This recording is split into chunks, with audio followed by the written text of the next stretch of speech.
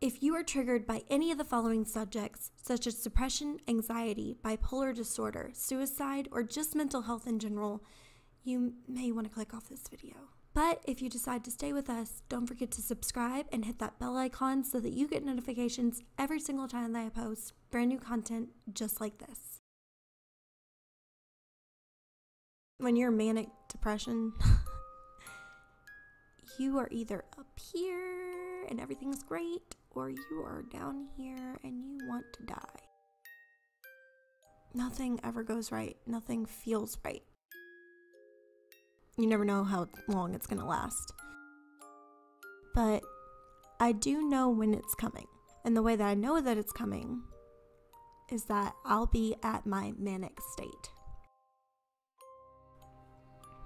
And when I'm manic, I'm happy, so productive at work. I was getting anything and everything done. I felt very secure about the position that I'm in. I was getting along with people. And then one day, I go to bed and I wake up. I didn't feel okay.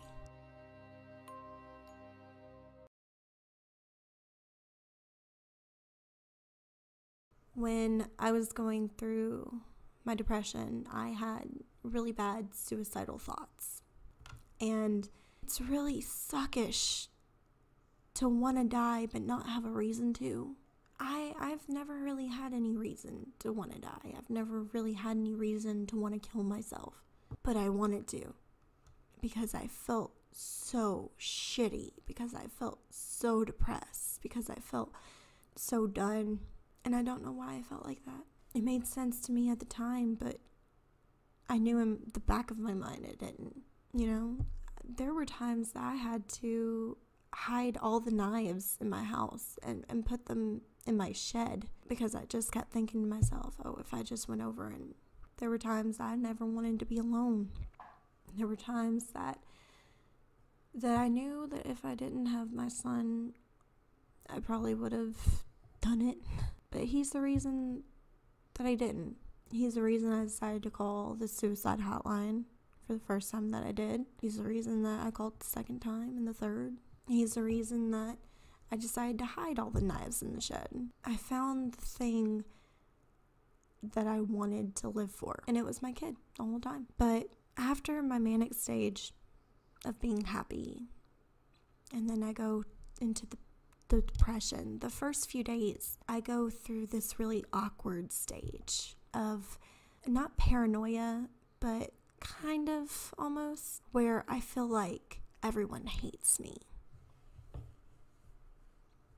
Everyone doesn't like me. I feel like people are talking shit about me whenever I walk into a room. You know how you walk into a room, somebody looks at you and you go, What the fuck were you talking about? Like, why the hell are you looking at me? Who the fuck are you to look at me? And it sounds so insane. But you can't help it. You can't help but think that. You take things really personal, no matter what it is. I once made homemade ravioli from scratch. And at the time, my son was like two or three, whatever. And I spent a lot of time on this ravioli. I was very, very proud of it. And I set it in front of him, and he took the plate, and it's like watching a damn cat knock off a glass off a table. He just went boop and knocked it onto the floor. Literally sat down right there in the kitchen and cried. And then I got up and I said, Oh my God, no, I can't be doing this in front of my kid. I hate breaking down in front of my child. I don't do it anymore. Thank the Lord, hallelujah. But that was before I finally got help. That was before I finally realized that there was an issue and I needed to address it. Otherwise, it could end in, in dire circumstance. So, you know, you have that sense of, I guess, paranoia that people are talking shit about you, that nobody likes you, that you are just an inconvenience or a nuisance to people. I did. I felt like that, you know. I felt like, oh my God, I'm breaking down in front of my kid. I'm such a horrible parent. And then I had notions of, oh my God, I can't give my kid everything that he could ever want. I'm such a horrible fucking parent. Um, he would be so much better without me. and that sucks. And then you have those moments of, God, I, I hate everything. And that's a few days later after the sense of paranoia or whatever. You thank God. It's not me. It's not me that something's wrong with. I'm I'm not the thing to blame. Everyone else is. I hate everyone and everything and they can all kiss my ass. You're almost angry with your depression.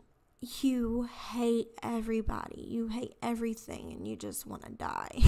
You're no longer sad. You're pissed off and you feel like everyone's out to get you. You feel like you're going through so much pain and damage and you don't really know what to do about it. So you just keep blaming people.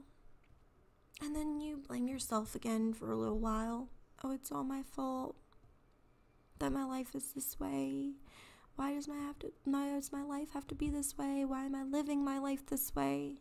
And then you wake up again one day and things are fine and I'm happy again and life is okay and oh my god, I you know, I can't believe I felt like that. Why would I ever feel like that? I'm never going to feel like that again. It sucks.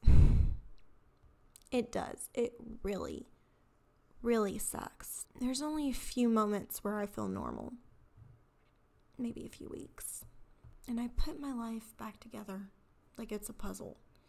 It's like someone else did all of this fucking bullshit, like spending my money and you know, causing bad relationships with people because I felt like they were out to get me or because I felt like I was being attacked or because I felt like it's their issue. And then, you know, ghosting people or not talking to them. It's hard for me to keep friends. It's hard for me to keep anybody in my life, really. I'm really surprised that my boyfriend has lasted this long. It's so fucking hard because you know that you're doing it, but you can't stop yourself from doing it. So, in those few weeks that I feel normal, I'm putting the puzzles back together and I'm going, why the hell did I do this? How the hell did I do this? When did I do this? You know, it's like, God damn, why am I making such stupid decisions? And then you finally get your life back together. You got a good amount of money in your bank account, you got your bills paid, you are eating healthy, you're exercising, you're doing everything right. And then one day you wake up and it's like, God damn, life is great. I'm so great. Everything's great. Everything's great. Oh my God. Awesome, awesome, awesome, awesome, awesome. And you're spending money again and you're happy and you're making videos and you're doing this and you're doing that. And you got, you know, all kinds of great ideas flowing and creating in your goddamn mind. And then, holy shit, it's back again. The depression. Laying in bed, not wanting to get up, not wanting to do anything. There's nothingness and there's anger anger and aggression, and there's the sense of everyone hating you. It's it's a crazy, crazy fucking roller coaster. And I hate it. But this is who I am. This is my issue. I don't know what caused it. I don't know if I was born like this. I tried to change it.